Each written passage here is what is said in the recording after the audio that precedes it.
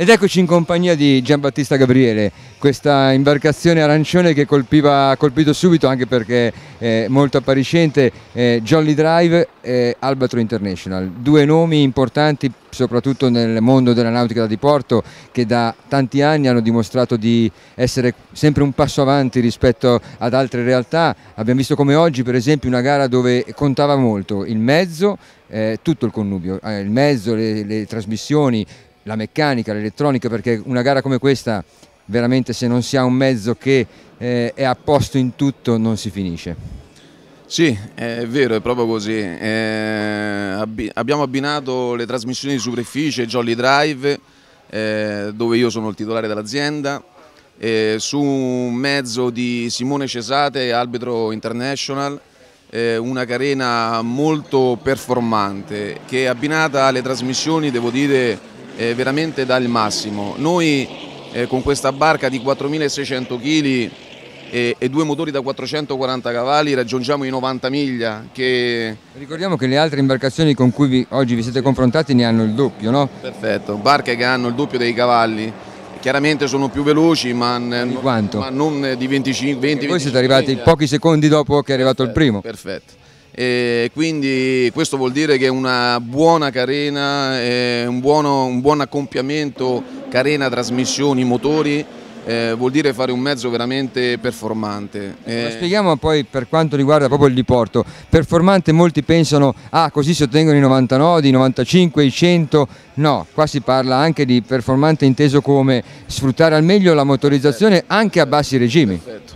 E infatti è proprio quello che vogliamo dimostrare una barca qui, una barca attirata diciamo per fare le corse. Estrema. Ma, estrema, ma eh, facciamo applicazioni su barche da diporto dove con pochi cavalli comunque facciamo delle velocità importanti. Tanto per essere chiari, se io su un'imbarcazione qualsiasi monto una motorizzazione entro fuoribordo ho determinate prestazioni. Certo. Se vado a utilizzare le trasmissioni di superficie con la stessa motorizzazione installata, io già di base ottengo che posso, uno, raggiungere velocità superiori a quelle che raggiungevo, certo. due, decidere di viaggiare a 25 nodi con meno giri, meno cavalli utilizzati, quindi un consumo ridotto. Perfetto, infatti diciamo che abbassiamo i consumi eh, di un 20-25% perché con le trasmissioni di superficie si riesce ad avere proprio un 20% in più a parità di potenza installata di prestazioni.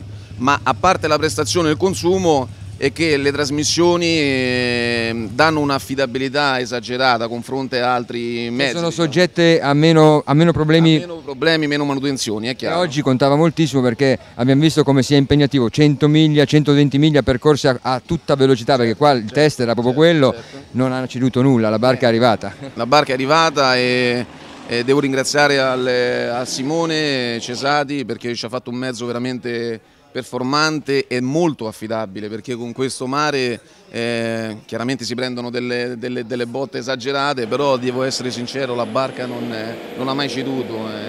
Per voi piloti il comfort in, in, questo caso viene messo ovviamente a dura prova perché a 100 nodi o 90 nodi non è che si sta viaggiando piano quindi se la carena non è studiata come deve essere studiata perché deve regalare sicuramente deve essere molto generosa nelle prestazioni ma al tempo stesso non deve neanche stressare l'equipaggio altrimenti voi in fondo non ci arrivate. Eh, infatti, infatti, è una carena che è molto veloce ma devo dire mh, mm, si presta molto bene con queste condizioni di questa mattina che comunque non c'era mare molto mosso però a quelle velocità come hai detto te chiaramente si viaggia a 90 miglia quindi le botte si prendono e si prendono forte però ecco, abbiamo dimostrato che comunque in un'ora e 25 abbiamo fatto 115-120 miglia di navigazione. Ecco, Massimo Lippi ha sottolineato come lui ha fortemente voluto questa gara perché vorrebbe un ritorno della canteristica e ovviamente di tutte queste aziende che lavorano attorno alle imbarcazioni eh, per, per, raggiungere eh, per, per, far sì che poi la ricerca continui nel discorso del diporto, cioè la motonautica deve essere come la Formula 1 automobilistica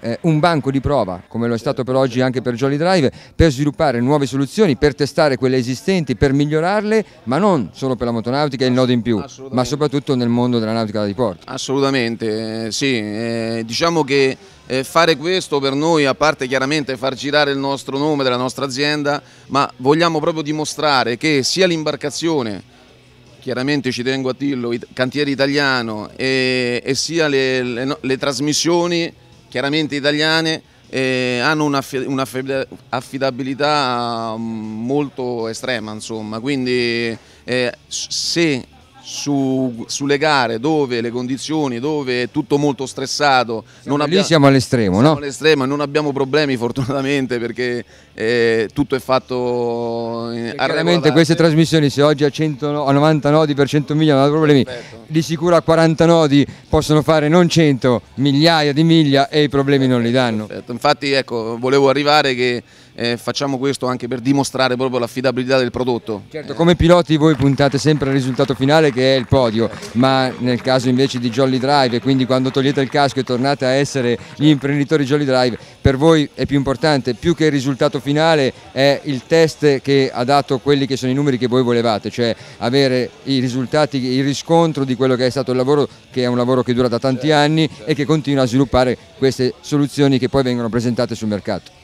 Perfetto, proprio così. Tra le altre cose eh, adesso abbiamo sviluppato trasmissioni molto più grandi, eh, abbiamo fatto delle applicazioni su barche da 90 piedi con motori da 3000 cavalli, quindi l'azienda sta crescendo, ci stiamo allargando col prodotto e speriamo solo che questo mercato eh, vada avanti e si riprende perché... Beh, però io credo ancora che il lavoro che voi svolgete, le aziende vere, il vero Made in Italy, tutto questo studio, questa ricerca, queste soluzioni innovative, magari in Italia oggi si soffre un attimino, in Europa sicuramente non stiamo vivendo un bel momento, però c'è un mondo intero, c'è una vetrina mondiale eh, dove anche oggi abbiamo dimostrato con voi e con l'altro, il vincitore della gara, con Marco Pennesi, un'altra un realtà del Made in Italy che ha dimostrato, insomma, ecco, avete dimostrato come le nostre soluzioni sono ancora poi sulla cresta dell'onda, quindi il mondo probabilmente potrebbe eh, essere uno sbocco per il vostro lavoro che ricordiamo è un lavoro importante, un lavoro disper, disper, che, che, richiede molti budget eh, per la ricerca. Eh, sì, eh, io sono 14 anni che faccio questo lavoro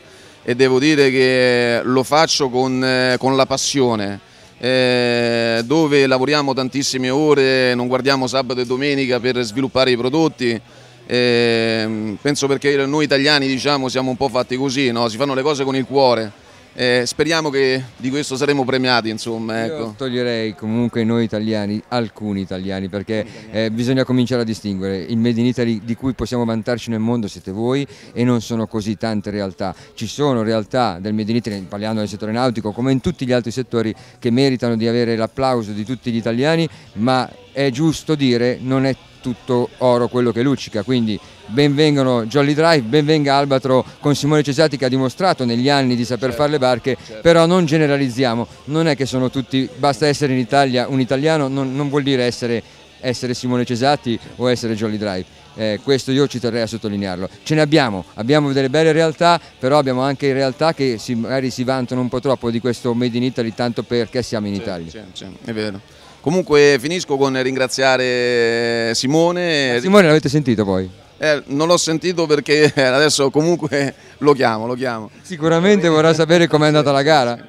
Voglio, ecco, ringrazio Simone che ci ha messo... Ci ha Abbiamo speranza di vederlo tornare sulla barca da corsa perché sappiamo che è un po' che non mette il casco. Lui ha tanta voglia di, di, di fare questo. Spero che magari ecco, l'anno prossimo... In qualche occasione... occasione viene a bordo... 100 miglia del lago di Como, no? Eh, magari, magari. Una cosa allora, lasciamo questa parentesi. Speriamo di vedere Jolly Drive con Simone Cesati a bordo alla 100 miglia storica, 100 miglia del lago di Como. Tra l'altro il cantiere Luce la proprio là e voi avreste una grande vetrina perché lì insomma la motonautica è di casa. Bene, grazie, grazie a Non Solo Male, ci vediamo, arrivederci. Ciao Giambattista. Ciao, ciao.